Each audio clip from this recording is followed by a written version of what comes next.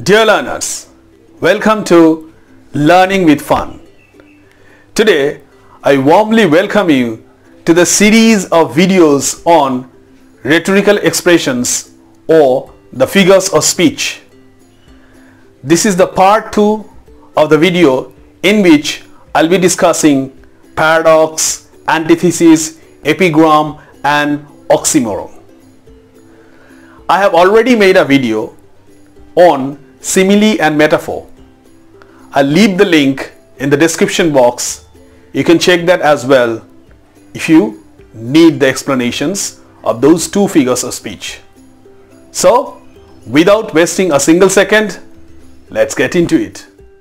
Dear learners, right now I'll be discussing four figures of speech based on difference.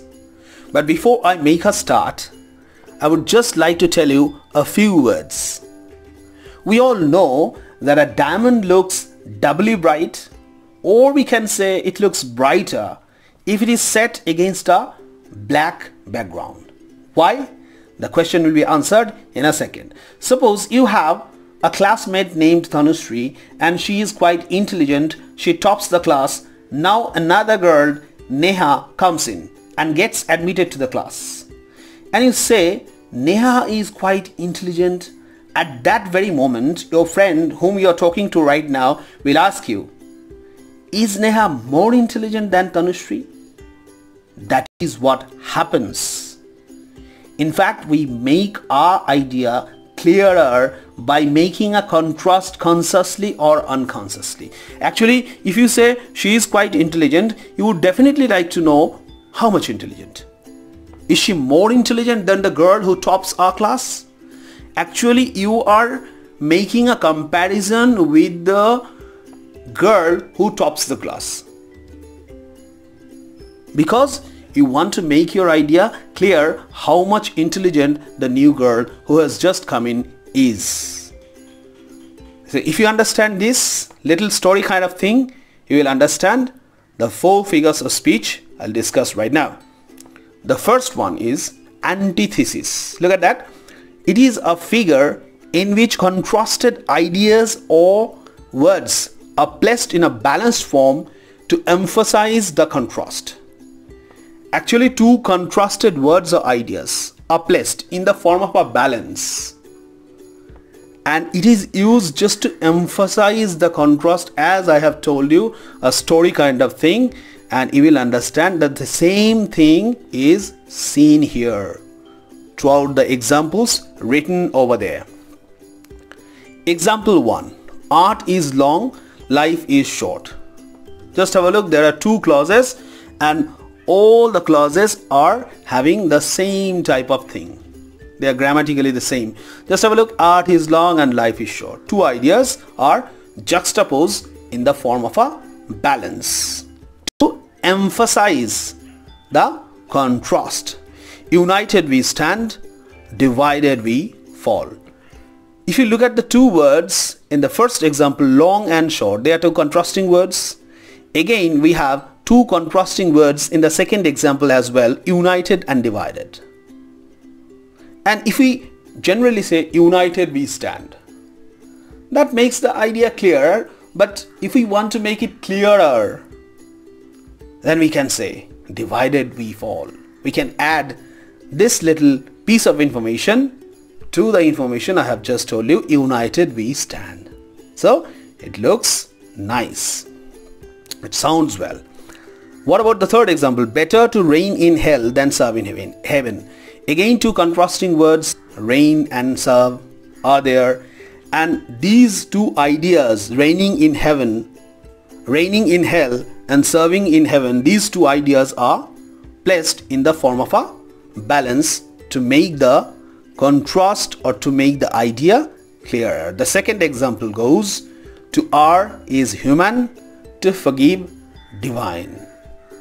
Again the same contrasting ideas are placed together in the form of a balance. Give every man thine ear, but few thy voice is the Fifth example, it is a line by Shakespeare and it means that you should not speak to all of all the persons you meet or you should give your ear. That means you should listen to everybody you meet you come across. But you should give your voice. That means you should speak your thoughts to a few. Well the sixth example man proposes god disposes. Two contrasting ideas are placed again. Now I would just like you to know a very nice example taken from A Tale of Two Cities written by Charles Dickens. It was the best of times, it was the worst of times, it was the age of wisdom, it was the age of foolishness, it was the epoch of belief, it was the epoch of incredulity, it was the season of light, it was the season of darkness and for your convenience I have just circled the contrasting words. Well, we would move on to the next one which is epigram. It is a sharp, brief and polished saying that by causing temporary shock rouses our attention to some striking thought underneath. There must be a contradiction in the expression but the contradiction is not real it is apparent. Oh God, it's a long expression and we have to understand the points which are hidden here. First of all, it is a sharp comment, it is a sharp statement, it is a witty statement. That means it, the statement is full of wit full of intelligence and it is brief. That means it is short polished saying and by causing a temporary shock. Actually when we listen to an example of a of an epigram we just get shocked. We just think that it seems to be absurd. How could that happen? How could that be actually that is what happens so it rouses our attention to some striking thoughts. So if we closely examine or if we think about the line or the statement given closely, we would be able to understand that there is a striking thought, there is a deep thought underlying. There must be a contradiction, definitely. In epigram as well, we have a kind of contradiction which is found in the expression, but the contradiction is not real. That means it seems absurd at first that the statement could not be right. We must be thinking that at first. But it is not real. It is apparent. That means it appears, but it is not real. Look at that trick which I have written down. The first point is that it seems absurd at first. So if we look at the statement or if we listen to the statement, we would be thinking, oh, it seems absurd. How could that be possible? The second one is that we get a shock and that's why we get a shock. And after getting the shock, we would have a close examination of what is actually stated. And we will get to know the deeper meaning underlying it. Let's look at the first example. Failures are the pillars of success. Definitely the question arises how could failures be the pillars of success? But after a close examination, we can get to know that failures make someone experienced. And that experience works really wonders to get the success. And that is how failures could be the pillars of success. The next example goes Cowards die many times before their death. Now the question again arises, how could a human being, doesn't matter be it a coward, be it a brave person, it doesn't matter at all. But the question is, how could a human being die more than once?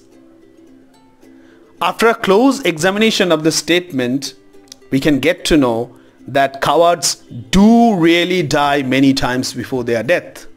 How? They continuously suffer from the fear of death and that is how they die many times before their death. The third example, our sweetest songs are those that tell of saddest thought. Definitely, we just get confused that how could the sweetest songs of ours could be telling us the saddest thoughts? After a close examination, we would just get to know that the songs that give us or that talk about light thoughts do not impress us at all.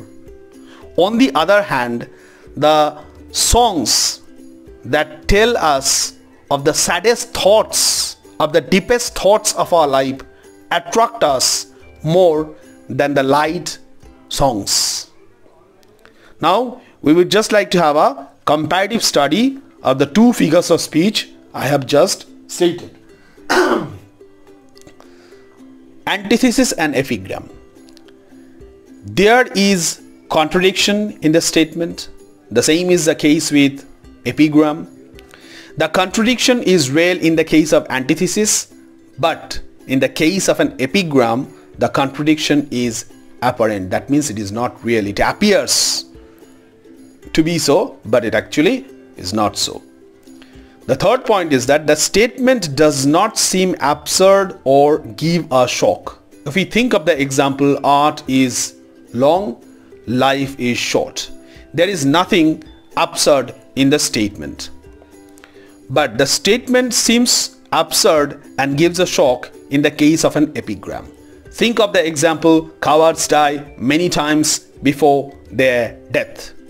The fourth point written over here is that the statement can be easily understood. We don't have to closely look at the meaning of the word or the sentence given. But in the case of an epigram, we need to closely examine and after that we will get a deeper meaning underlying the statement.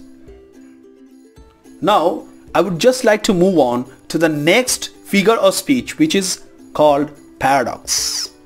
It is almost the same as epigram. Now the question arises, what's the difference between a paradox and an epigram? The difference is that paradoxes are only contrary to received conception or received opinion. This is the only difference. What we generally believe in is just contrary to what is stated in a paradox. Now look at the first example. 9 soldiers out of 10 are born fools. Actually, we believe that soldiers are really brave, they are really intelligent, but actually this is not so. This is what is said by Bluntschli, the mouthpiece of George Bernard Shaw in Arms and the Man. Actually, the soldiers are fools, that is why they are ready to die because they, they don't care for death. So it's a kind of foolishness. Well, let's look at the second example. Silence is sometimes more eloquent than words. Generally, we believe that we definitely have to say something to make our ideas clear or to make our thoughts clear, but actually it is not so all the time. Sometimes some, suppose someone asks me a question and I remain silent. And this gives the answer to the question she asks. So she gets the answer for my being silent. Well, now we would just move on to the next figure of speech which is called oxymoron. It is a figure of speech in which contradictory words not ideas, which is there in the antithesis. So, two contradictory words or contradictory words are placed side by side. I have underlined the words side by side. That has to be focused on for raising a striking effect. So, we would have a striking effect and there would be contradictory words, opposite words and they would be placed side by side. He is carefully careless. Now the question is how could one be carefully careless? somebody is careless and his being careless is much more carefully thought about. That means he is careless, he is consciously careless. That means he is conscious and that is how he shows, he shows his carelessness by being careful. So he is carefully showing his carelessness. That's the meaning of the sentence. Okay. Regularly irregular. So if we say somebody is regularly irregular, her irregularity is so that we could call it regular. That means suppose, uh, a girl, a student is admitted to a class and she goes to the class once a month. So she is irregular and that is what happens month after month. So if that happens month after month, that becomes regular. So her irregularity becomes regular. Well, I would not talk much because the video is going to be very very lengthy. I'll just talk about the trick written over, over there. Contradictory words, not ideas. That is the first trick you have to remember. The second one is it seems absurd. How could one be regular, regularly irregular? How could one be carefully careless? So it, it just gives a shock at first. It seems absurd. The statement seems absurd for the first time. But if you have a close look, if you understand something, if you try to understand something deeply, we'll just get the meaning of it properly. Pretty, ugly, and open secret. So these are the examples written over here Thanks for watching.